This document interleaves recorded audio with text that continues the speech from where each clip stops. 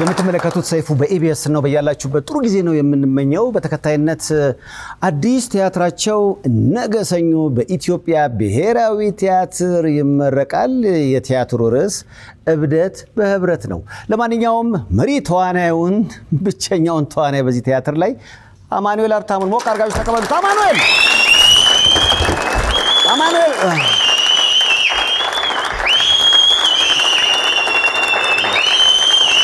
ይወዷል በጣም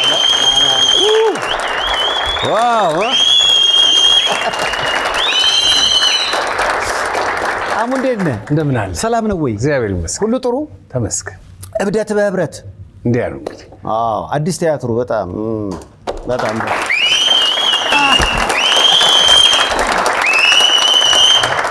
አቤት እንዴት ነህ? አለሁልህ። ሰላም ነው? ሁሉ ሰላም። ሁሌ አሪፍ አሪፍ ነገሮች ሲመጡ ያው እንገናኛለን። ተመስገን። አሁን ደግሞ ብቻህን ነገ በኢትዮጵያ ብሔራዊ ቲያትር እብደት በህብረት አንድ ድመት አለ አብሮኝ። ተረፈ ነው ስሙ ድመቱ። ተረፈ ነው ኧረ ተው ተሬ ተሬ። እንዴት ተረፈ ተባለ? ያው ከዚህ ካለው ማዕት የተረፈ ነው። ይሄ እሱ ነው።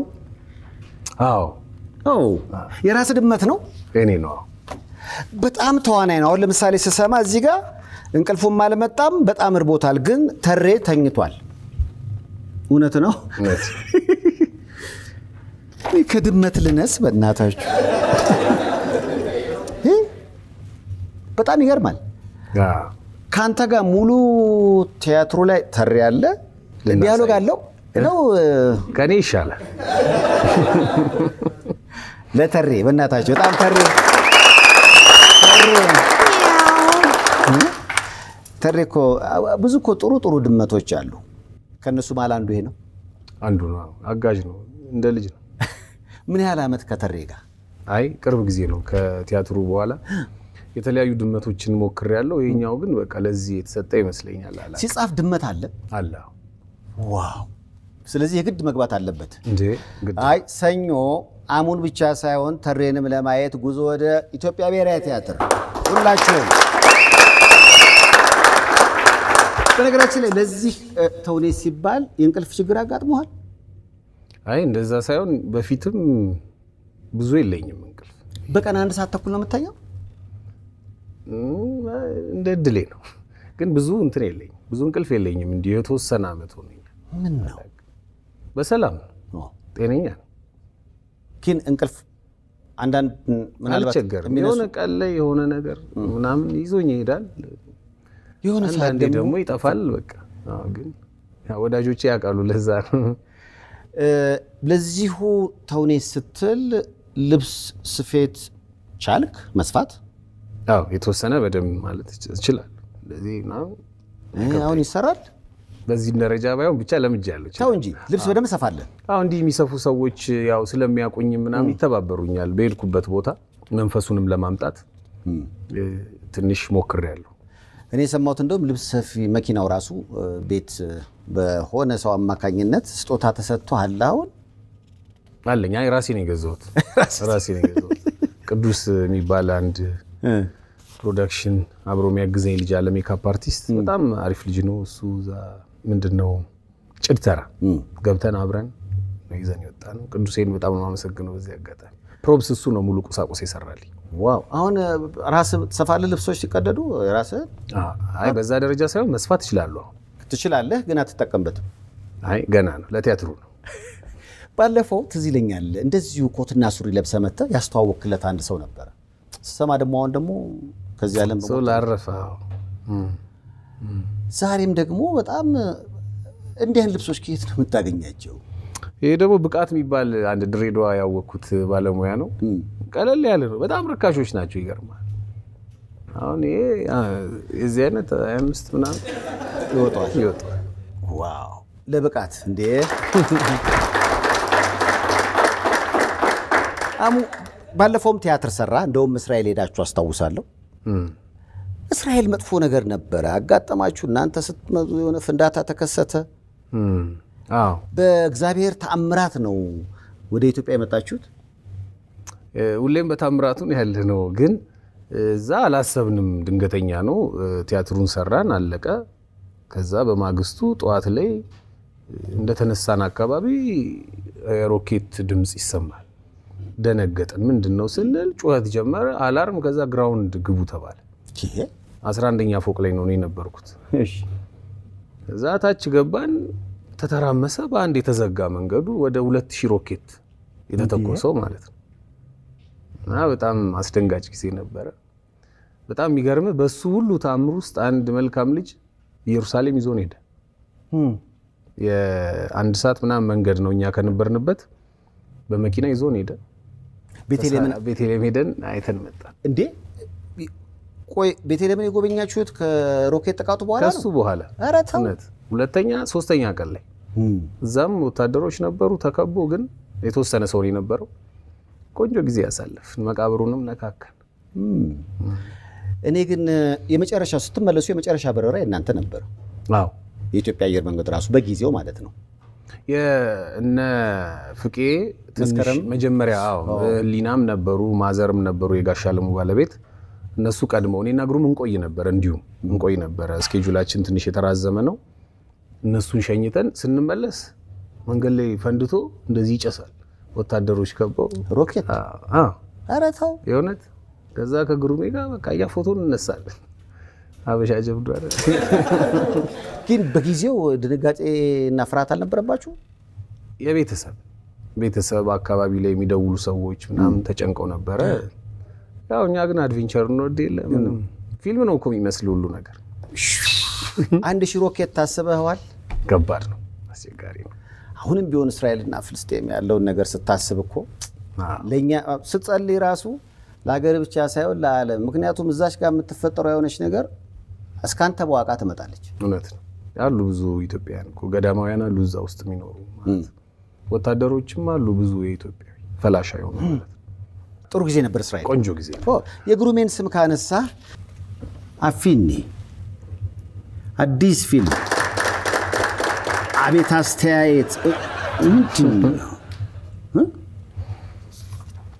እኔ አማኑኤል መሆንን ያወቅኩት ሰው ነግረውኝ ነው። አዎ፣ ትንሽ በጣም ለየት ያለ ነው። አዎ፣ ቆንጆ ነው። በጣም ደስ የሚል ማህበረሰብ ነው ያለው የሲዳማ ባህላቸው ደስ ይላል። ሰዎቹ ደስ ይላሉ። ቋንቋቸው ደስ ይላል። የፍቅር ነው። ዜማ አላቸው። ቆንጆ ናቸው። ተስፋ ናቸው ለኢትዮጵያ። የስርዓቱም ወጉም ደስ ይላል። ሲዳምኛ አጥንተህ ነው የሰራኸው ፊልሙን? አዎ wow! አሁን dialogue ግሩሜም አጥንተ ተው እንጂ ታስታውሷለህ? dialogue ኡን አሁን ቃለ ሆነ? እንዴት ይረሳል? እንደ ቲያትር ታስታውሷለህ?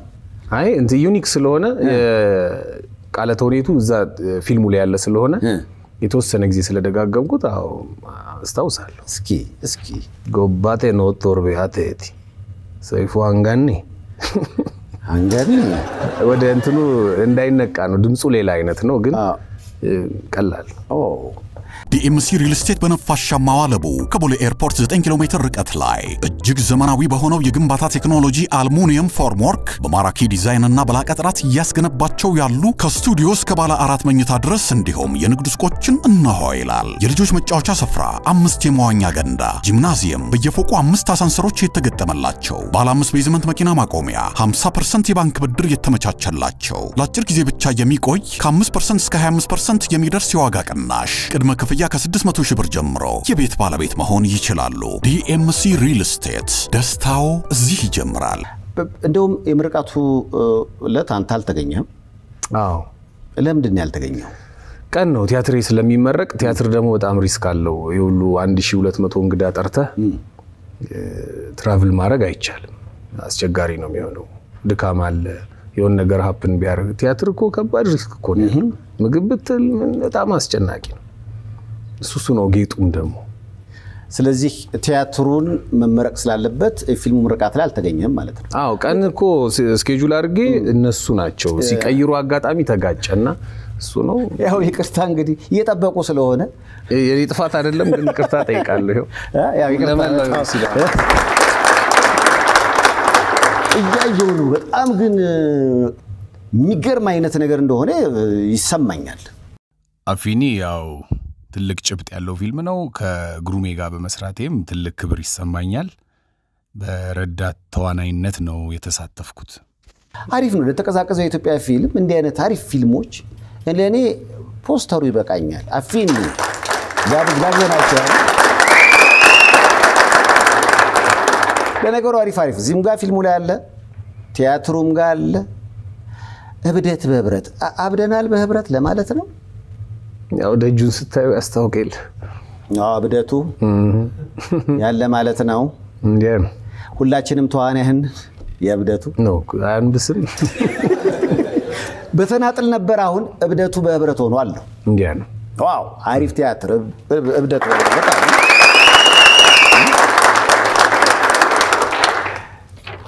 እዚህ ውስጥ አሞ አለ። አዎ ገብሪ በጣም በሚገርም ሁኔታ እንግዲህ የተወሰነ ሰዓት ላይ ወደ ሲኒማው ነበርክ።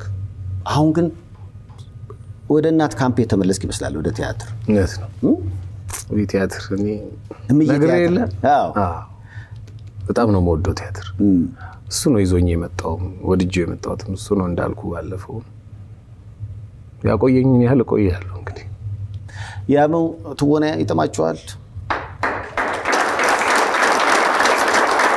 እኔ ግን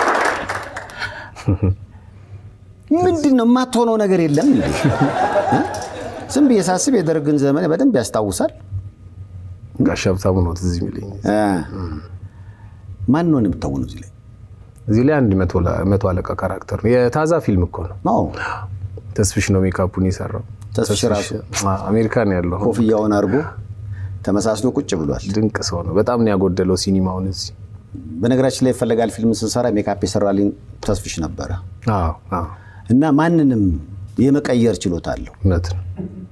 ከእሱ በላይ ደግሞ ራሱ እንዲህ characterም እንደ ዳይሬክተር ነው ይለኩሳል። የሆነች አለችው የለም ማስነሳት ይችላል። እኔ እሱን ካወቅኩት በኋላ ግንዛቤ ትንሽ ከፍ ብሏል። እውነት ለመናገር ተስፍሽ አሪፍ makeup artist ነው እና ምንም ነገር ያደርጋል። በህይወቱ አንድ ነገር ብቻ አልቻለም፣ ነግሮኛል። እኔን ቆንጆ ማድረግ። ብዙ ነገር ሰርቻለሁ አለ። ያንተ ነገር ግን ከባድ ነው። ፊትህ እንደ አይሱዙ ካልተቀጠቀጠ ተው። ስለዚህ ፎቶ እስኪ ንገረኝ። ይህ የተስፋውን ከበደ ፍራሽ አዳሽ ቤት ስር ያሉ ልጆች ናቸው። እንጫወታለን፣ ኳስ እንጫወታለን። እንዲህ ታሪካቸውን ያወሩኛል። በቃ friend ነን እና አብረን እንደ ልብ ነው የምንኖር። መሬት ስለያዝን ምንም አን- ምንም አንፈራ።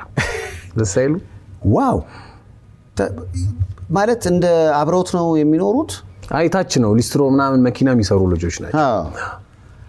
ደስ ይላል። እሱ ጋር ሄዳለሁ፣ እደበራለሁ። አንዳንዴ ያው ያግዘኛል። ስራም ላይ እንተጋገዛለን፣ ሀሳብን እንጫወታለን። በነገራችን ላይ እብደት በህብረት ልክ እንደ ፍራሽ አዳሽ እና እንደ እያዩ ፈንገስ አይነት ባህሪ አለው ሊባል ይችላል። አንድ ሰው መሆኑ ነው እንጂ አንድ ሰው ብቻ ሆኖ አንድ ሰው አይደለም። እኔ እንዳልኩ ድመቱም ድምፅ ግብአትም አለው የኔ የተለያዩ ነገሮች አሉት። ከዛ ውጪ እንግዲህ ብዙ ግብአት አለው የኛ እነዚህ የታጀቡት ነገሮች ምናምን ለየት ያደርገዋል። የሙሉ ጊዜ ቲያትር ነው። የግሩም ዘነበ እያዩ ፈንገስ ግን አርያችን ነው ለእኛ። እሱ ነው ሮል ሞዴላችን። እሱ ነው ይዞ የመጣው። ያው እሱን ተከትለን ነው ወደዚህ ነው። እንደውም አንድ ጊዜ አስታውሳለሁ ሰርቶ ሲወርድ በጣም በቃ ቀን ነው እንዲያየሁትን መድረክ ላይ ወጥቼ ቁጭ አልኩ። ሰው ከወጣ በኋላ የእሱ ሲነሪ ላይ ይሄን አሁና ቁጭ አልኩ። በቃ አየሁት ባዶውን ሜዳ እንዴት ፈነጨበት፣ እንዴት ደስ ይላል። እና አሁን የአሁኑን ሲያስመርቅ ታች ሄጄ በረከት ይድረሰኝ ብዬ አቅፌው እንግዲህ ተቀብዬ ነው የወጣሁት። እግዚአብሔር ይሁነኝ። ክብር ለግሩሜ። ግሩሜ በጣም ይችላል።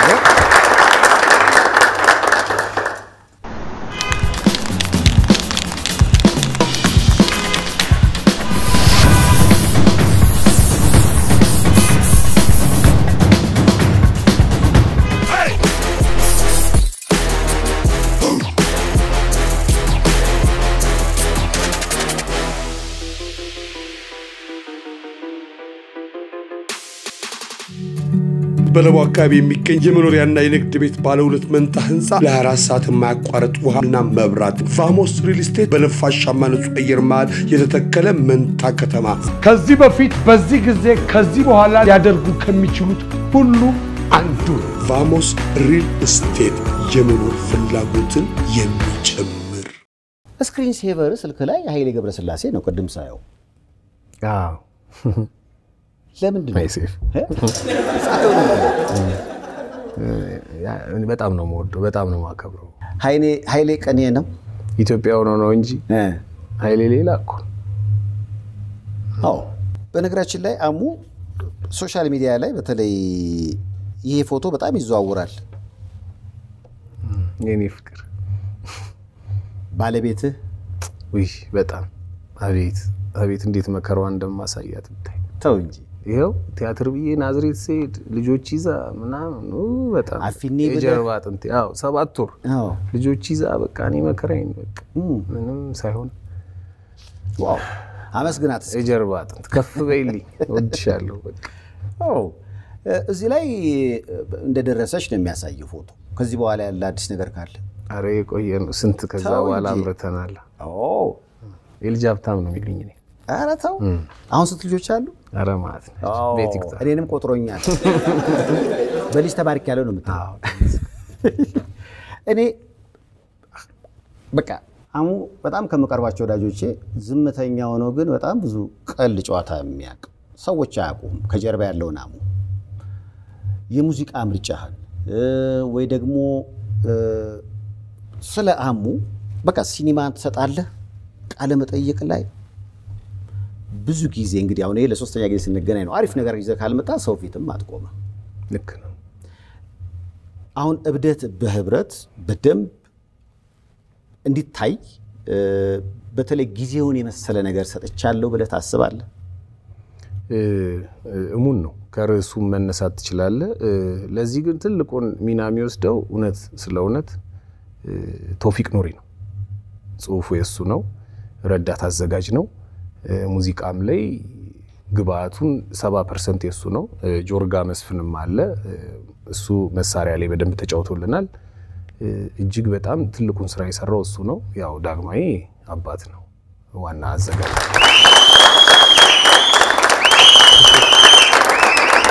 በነገራችን ላይ እብደት በህብረትን ያዘጋጀው በኢትዮጵያ ቲያትር ታሪክ በኢትዮጵያ ሲኒማ ታሪክ ስማቸው ከሚጠሩት በጣም ምርጥ ከሚባሉት ዳይሬክተሮች መሀል አንዱ እሱ ነው። ሞቅ አድርጋችሁ ተቀበሉት እስኪ። ከኔ ጋር ቆይታ ያድርግ። ዳግማዊ ፈይሳ ወደ መድረኩ ዳግም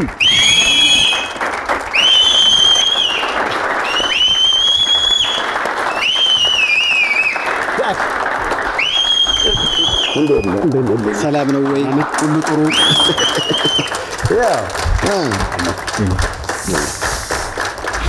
እስኪ እስኪ አረፍ አንበሳ አንበሳ ዳግም እንዴት ነህ? አለሁ ሁሉ ሰላም? ሁሉ ሰላም። እኔና ዳግም የምንተዋወቀው በዚህ ዘመን ነው። ከየት አገኘኸው? ግን በእናትህ ጸጉር ባዳ ነው በቃ። ባዳ እ? ያንተ ደግሞ እኮ እስከ ታች ስለ እኔ ጸጉር ይንገራችሁ ዳግም፣ በእናትህ በደንብ ስለምታውቀኝ ሰይፍሻ የምትተዋወቀው እንግዲህ ዓመተ ምሕረቱ መነገር አለበት። ቁጥር እንዳይጠራ ዳ ሁለት ዲጂት ነው። እንደው አንድም ቢሆን እንደው ቁጥር እንዳይጠራ እሺ። እና በጣም ብዙ መጽሐፍና ብዙ ደብተር ይዞ ነው የሚሄደው ሰይፉ ማለት እና ስናየው አስራ ብዙኛ እያለ ነው የምንጠራው። አስራ ሁለተኛ ምናምን ይባላል አይደለ? ግን በጣም ብዙ ደብተር እናንትን ስለሚይዝ ጸጉሩ ደግሞ ረጅም ነው። ያኔ ጆን ትራቮልታ ይባላል ስለ ጸጉር እና ሙሉ ጸጉር ነበር ሙሉ ልክ እንደኔ ማዘጋጃ እንግዲህ በጋሻ ባተ ጊዜ እናንተ ከዩኒቨርሲቲ እንደወጣችሁ አንተ ጀማኔ ሰለሞን፣ ኤልሳቤጥ። መላኩ በቃ በአዲስ ወጣት በቃ እንትን አለ በቃ እኔ ራሴ የማስበው እና በቃ አሁን ሳይ ወይ የሰው ልጅ የሚያስፈልግ እንኳን እድሜ ረጅም እድሜ ከጤንነት ጋር ሰጥ ለዳግም በጣም እውነት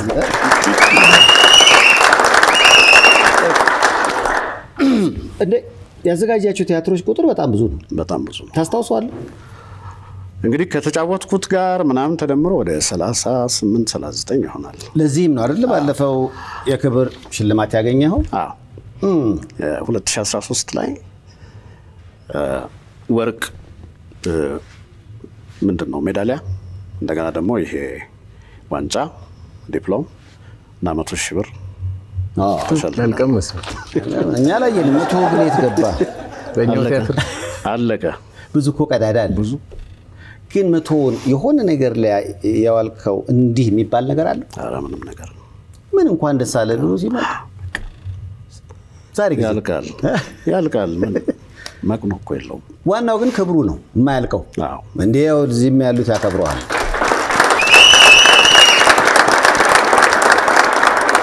ዳጊ እንደገና ሌላ ታሪክ ምንድን ነው እ? በቃ እህቴ ናት፣ ታላቅ እህቴ። ከእሷ ጎን ቆሜ ፎቶ ተነስተን ነው። በጣም ፈሪ ነበርኩ። እንዴ በጣም ፈራ ነበር። ካሜራ አዎ ከምር ነው? ልጅ ነኛ። አዎ። ውልደት የት ነው? አዲስ አበባ መርካቶ። መርካቶ። አዎ መርካቶን አልሰማውም ነበረ። መርካቶ ማለት ይሄ አብነት አካባቢ? የእነ ታደለ ሮባ ሰፈር። ኤልያስ ይሄስ ምንድን ነው የሚባለው? አብነት። አብነት? አዎ እዛ አካባቢ። ሰባተኛ? እና ያደግኩት ሰባተኛ አካባቢ ነው። ከዛ ወደ ኮልፌ ሄድን። ዊንጌት ትራፊክ ሰፈር የሚባል አራት መንታ ይባላል። አሁን። እዛ አደግኩኝ። ከዛ ደግሞ አሁን ደግሞ ወደ ብርጭቆ ብርጭቆ ፋብሪካ። ብርጭቆ ፋብሪካ ዋው! ስለ አሁን ይህንን ዳግም ስታየው ምን ምን ምን በቃ በጥባጭ ፈሪ ካሜራ በጣም ዝምተኛ። ተው እንጂ። አንባቢ። ኧረ ተው። በቃ ቤተሰብ ጠይቅ። አላስቸገርክም? በቃ አልሰበርክም? ምንም። በጣም ጨዋ ነበርኩ። ግን በቃ የእድሜ እንጂ ረት ታየዋለህ እዚህ ላይ። ይሄ ማለት አሁን 1966 ምናምን አካባቢ የስድስት ዓመት ልጅ ምናምን እያለው ማለት ነው። ዋው አሁን ግማሽ ምዕት ሆነ? almost 56 ዋው! አሁን የሚቀጥለው የካቲት 56 እሞላለሁ። እንኳን ተወለድክ በሉት እድሜን ከሰራህበት እንዲህ ፊት ለፊት ትናገረው። ምንም ችግር የለም እኮ አይደል? አዎ። ካልሰራ ግን ቁጥር እንዳጠሩ አስቸጋሪ እስከ ዛሬ ድረስ ከሰራው በጣም የምትኮራበት ቲያትር? እኔ ሁሉንም በጣም ወዳቸዋለሁ። ብዙውን ጊዜ ያጠፋሁት ከጋሽ አባተ ከጋሽ ተስፋ የገሰሰ ከእነሱ ጋር ብዙ ረጅም ጊዜ አጥፍቻለሁ እና ማን ያዟልም አለ? ማን ያዟል እንደሻው እሱ መምህሬ ነው። እና በጣም የምኮራበት ስራዬ የቃቄ ውርዶት መስከረም አበራ ያወጣችበት ቲያትር እሱን በጣም ወደዋለሁ። ከመጋረጃ ጀርባንም በጣም ወደዋለሁ። የኮከቡ ሰውንም በጣም ወደዋለሁ። ግን አንዳንዴ የሆነ ነገር በትእዛዝ ትሰራና አዎ። እንደ እሷ ነገር እሷ ስራ ባትነሳብኝ የምትለው የለም። ትእዛዝ የለም ሁሉንም ፈልገን የሰራ ሁሉንም ፈልጌ ወድጄው ነው የሰራሁት። እኔ ቲያትርን ሳጠና ፈልጌው ነው እና ሁሉንም ወድጄ ነው የሰራሁት። በጣም በጣም በጣም ኮርቼበታለሁ በሁሉም ስራዬ። ግን ሰው አያውቀውም ገብቷል። እና እኔ ግን በጣም ኮርቼ ነው የሰራሁት። አሁንም ራሱ የኃይሉ ጸጋይም ቤተሰቡ ነበረ ቤተሰቡ የሚል ኃይሉ ጸጋይ እሱም በጣም ሰክሰስፉል ነበር። ሀገር ፍቅር ነበር የታየው እና ሁሉንም ወድጄ ነው የሰራሁት። ግን ዳግም ወደኋላ ስመለስ እኔ ትዝ ይለኛል ማዘጋጃ ቤት አንድ መድረክ ላይ አብረን ነበርን አዎ 17ኛው ቁጥጥር የሚል ትንሽ ለየት ያለ እና ከሆነ ጊዜ በኋላ ተውኔት መተወኑን ትተህ ወደ ማዘጋጀቱ ነው የገባው። አዎ ምንድነው ወደ ዝግጅቱ የገባሁበት ትልቁ ነገር እኔ በጣም ቅርበት ነበረኝ ከጋሽ አባተ ጋር። አስራ ሰባተኛው የማ ተውኔት ነበር። እናንተ የምትሰለጥኑበት የስዩም ተፈራ ጋሽ ስዩም ተፈራ እሱ ነበር የጻፈው። በአጋጣሚ ግን ነፍሱ ይማረውና ሞገስ ሞላ። እሱ ነበር የሚያዘጋጃችሁ እናንተም።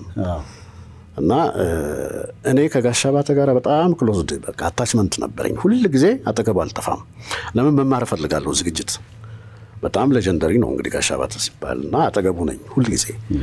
ያላቻ ጋብቻን ስሰራ ቴዎድሮስን ስሰራ ቴዎድሮስን ማለት ፍቃዱ ተክለማርያም ይሰራበት የነበረ ትልቁ እንትን ነበርና እሱንም double cast አርጎኝ double ሳይሆን ይሄ understudy የሚባል ነገር አለ ከስር ከስር እንትን እና ራሴን ማዘጋጀት ስጀምር እሱን ሳይ ከዛ ኤዲፐስ ንጉሥ የሚባል ትልቅ ፕሮጀክት ነበረ። እሱንም ስሰራ በቃ የዝግጅት ጥበቡ styleኡ በጣም እየወደድኩት መጣውና አብሬው መሆን ጀመርኩ። so specially ደግሞ ባህል ማዕከል ደግሞ ገባሁኝ። እና እዛ ደግሞ በጣም ትልቁን ላቦራቶሪ አድርጌ ይሞክርበት ነበር ያ ቤት። እና ከዛ በኋላ ነው totally ዝግጅት ውስጥ የገባሁት። እና ከዝግጅት ውጭ ከትወና ውጭ ምንም አይመስለኝም ነበረ ዝግጅት። በኋላ ስገባ ግን ለካ እንደገና ህይወትን መስራት ነው። ሰውን ሁልጊዜ በግጭት ውስጥ የምታገኘው ቲያትር ስታ- ስታዘጋጅ ነው። characterኦችን እርስ በርስ ስታገናኛቸው ያ ያ ሁሉ ነገር አለና ይገርመኝ ነበረ። ለምን ታዲያ እዚህ ውስጥ አልገባም ብዬ በይበልጥ ገባሁበት እና ስትገባ ደግሞ ሌላ ዓለም ነው። ከትወና አሁን ሁለተኛ ቲያትራችሁ ነው አይደል? ካመኑ ከማን ጋር? አዎ። ምን ነው አየህ አልተናገረም ብዙ ነገር ብዙ እንደበደልከው ነው እሱ በጣም በጣም ጭቆና አለ ነው የሚለው።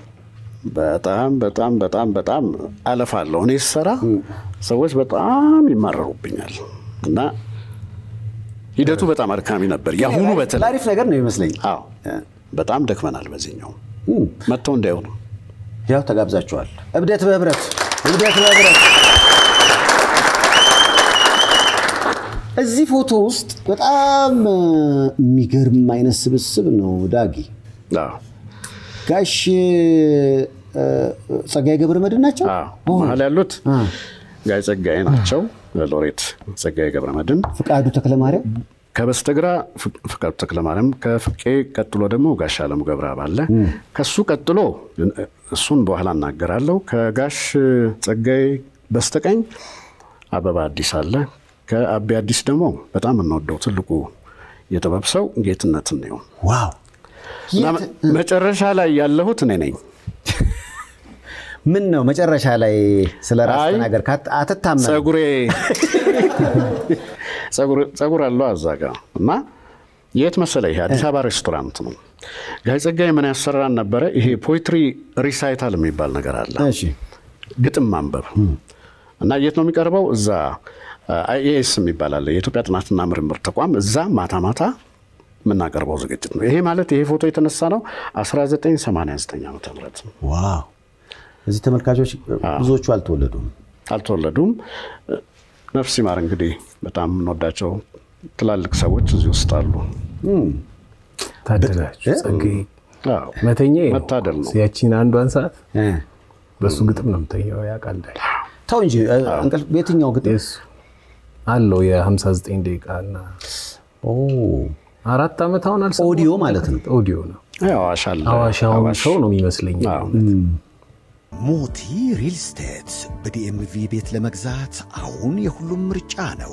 ሜሪላንድ፣ ቨርጂኒያ፣ ዲሲ ላይ የመኖሪያ አሊያም የንግድ ቤቶችን መግዛት ከፈለጉ ሁሉን ያመቻችሎታል። ኢትዮጵያዊ ዜግነት ኖሮት የአሜሪካ ቪዛ ካሎት በባንክ ብድር በዲኤምቪ area ላይ ቤት መግዛት እንደሚችሉ ያውቃሉ? እስኪ ይደውሉ። ሞቲ ሪል ስቴት ሶስት ምርጫ ላቀርብልህ። አንዱ መምረጥ ግድ ነው። ግጥም አለ፣ ቲያትር አለ፣ ፊልም አለ። አሙ ሙዚቃም ይወዳል። በነገራችን ላይ ቀሪ ሕይወትን አንድ ዘፈን ብቻ አድምጥ ብትባል አንድ ዘፈን ብቻ ብትባል የምትመርጠው ዘፈን አለ? ያውቃሉ ዳይ ካቡን ነው አስቴር አወቀ ካቡ። ዋው ካቡ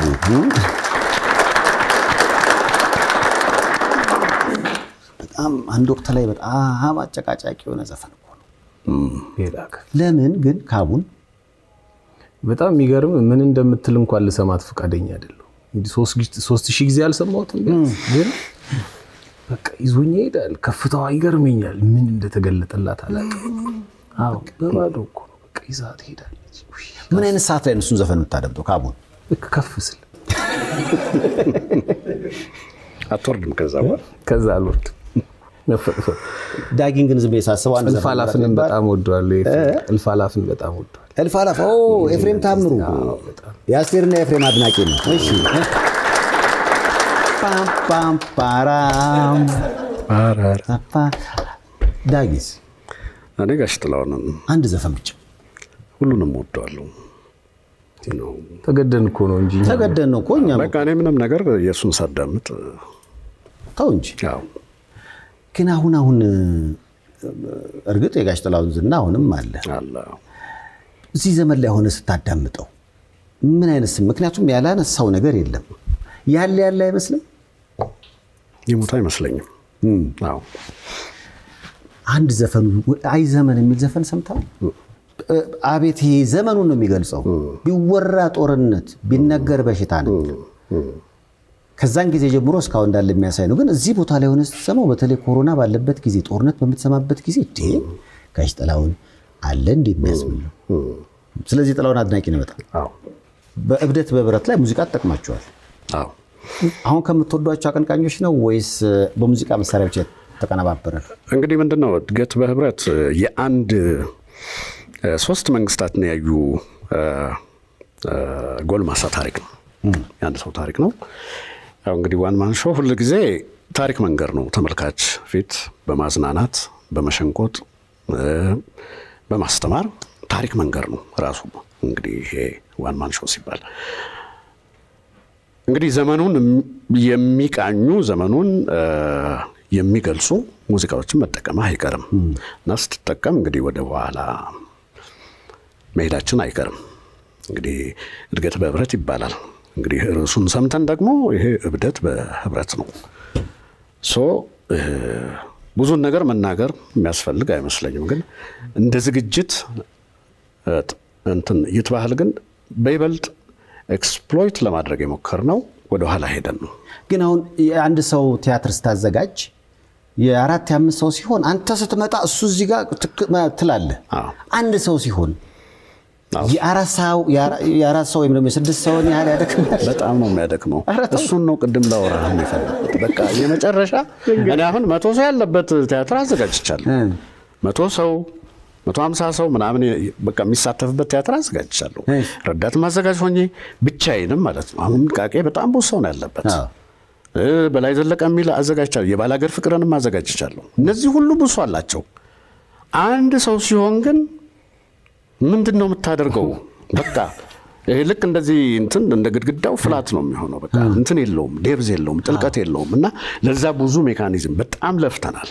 በጣም ትልቁን credit የሚወስደው ያው ደራሲው ቶፊቅ ቢሆንም ሁላችንም equally እዛ ላይ በጣም እንትን አድርገናል እና ያስቸግራል። በቃ አሁን ምን ይላል መሰለ ዩጂን ኦኒል የሚባል በጣም ትልቅ አሜሪካዊ ጸሐፊ አለ። ሁል ጊዜ በህይወት ሂደት ውስጥ አለ ሁል ጊዜ ማየት የምፈልገው የሰው ልጅ ከጣፈንታው ከራሱ ጋር ከምን ጋር ያለውን ግጭትና ፍልሚያ ማየት ነው ይላል። ሁል ጊዜ በቃ ፍልሚያ ማየት እፈልጋለሁ። እኚህን አንድ ሰው ከራሳቸው ጋር ሲታገሉ ታያለ። ከቤት ውስጥ ካለ እቃ ጋር ሁሉ ታያለ። ከምን ጋር ታያለ? ከድመት ጋር አለ። በቃ እንዳለ የሰፈር ደግሞ እንትን ambiance የምንለው story ይሄ establish ያደረግንበት እንትን አለ እና ያ ያ ሁሉ አረ ይሄ ነገር እንደዚህ አይሆንም እና እባክህን እንደዚህ ደግሞ እንዲህ እንዲህ በቃ መከራህን ነው የምትበላው እና በጣም በጣም በጣም አብሬው ሁሉ ያለቀስኩበት ጊዜ አለ። አብሬው እንትኑን feel ታደርጋለህ። ሁለት ሰዎች እስቲ A እንዲህ በል B እንዲህ በል እስቲ እሱ በጥፊ በለው ትላለህ፣ አዎ፣ ታጣላለህ፣ ምናምን ምናምን። ይሄ አንድ ሰው ነው እና ስሜቱ ደግሞ እንዲመጣልህ ስትፈልግ ደግሞ አንዳንድ ጊዜ በልጦ ይሄዳል ተዋናይ። በልጦ ርቆ ሲሄድ እንደገና አንተ ያን ስሜት ደግሞ ለማምጣት ትልና እንደገና ትገባለህ እዛ ውስጥ። ከዛ በኋላ አብረኸው ምን ታደርጋለህ? feel ታደርጋለህ፣ ትስቃለህ፣ ታለቅሳለህ። አጋጥሞናል። በጣም እያደከመን ማለት ነው። እና ብዙ ያልሞከርነው ነገር የለም የሚገርም ነገር እና ያለፋል። በተቻለ መጠን ለየት ለማድረግ ሞክረናል። ግን ቅድም እንዳለው አሙ one man show የተለመደ ነው። እኛ ጋር ብቻ አይደለም፣ ውጭም በጣም ከጥንቱ ከግሪክ ይነሳል።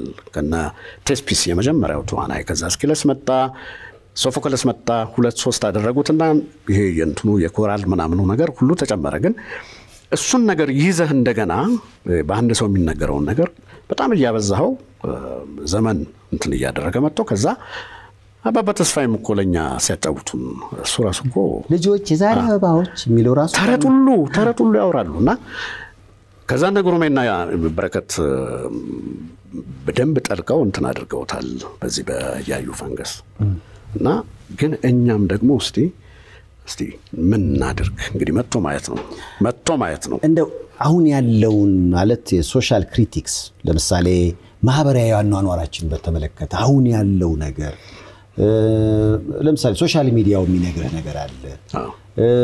መቼም ያው እኛም እኮ ልክ እንደዚህ ገጸ ባህሪ ከሶስት በላይ መንግስት አላየን። አይተናል እንዴ? በደንብ።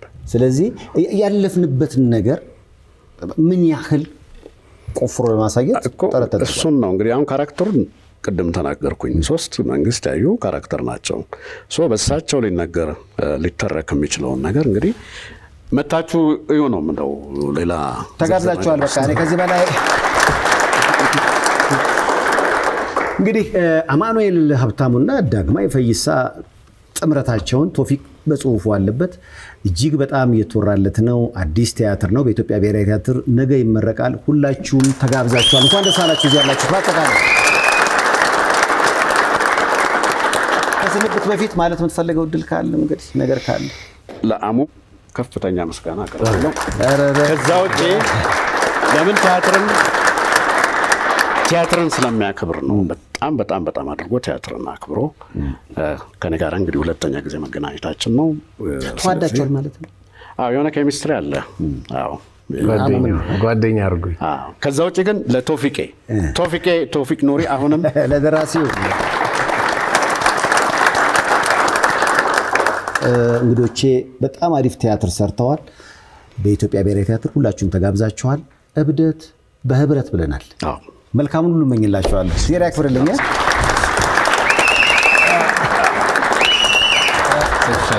መልካም ምሽት።